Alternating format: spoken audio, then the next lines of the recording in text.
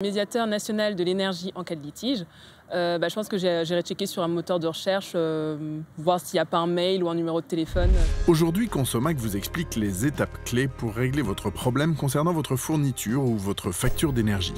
D'abord, appelez, puis écrivez au service clientèle du fournisseur ou du distributeur d'énergie concerné. Conservez bien une copie. Si au bout de deux mois vous n'avez pas obtenu de réponse ou si elle ne vous satisfait pas, vous pouvez alors saisir gratuitement le médiateur national de l'énergie. La saisine du médiateur se fait dans un délai maximum de un an. Le médiateur a ensuite 90 jours pour vous aider à trouver un accord avec l'entreprise concernée et émettre une recommandation de solution. Le recours au médiateur national de l'énergie est gratuit et il est très simple. Vous pouvez le saisir par courrier ou en ligne en vous rendant sur le site du médiateur national de l'énergie et en remplissant le formulaire Solène.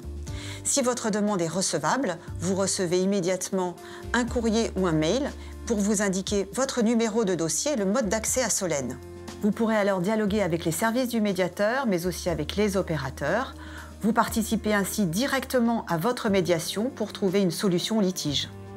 Une fois saisi, le médiateur demande aux fournisseurs et ou aux distributeurs d'énergie de lui transmettre leurs observations sur votre dossier.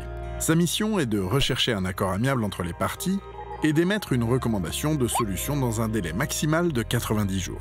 Si le litige est complexe, il peut demander un prolongement du délai d'instruction.